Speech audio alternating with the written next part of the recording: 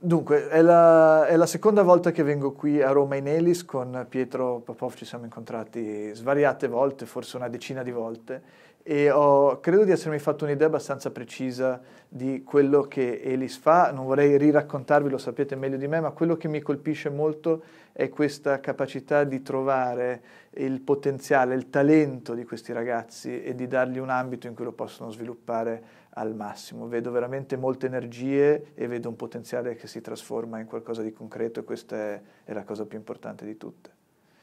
SNAM è un partner di Elis, eh, siamo, per quanto abbiamo già fatto molte cose insieme, siamo all'inizio di questo percorso e conto che SNAM sempre di più diventi un partner per usare eh, queste energie che si creano in Elis e portarle all'interno della nostra azienda e, e, sfruttarle al massimo e continuare questo percorso di sviluppo. Elis credo che sia un punto di partenza, invece l'azienda può essere poi eh, una parte più lunga del percorso che è quello del lavoro.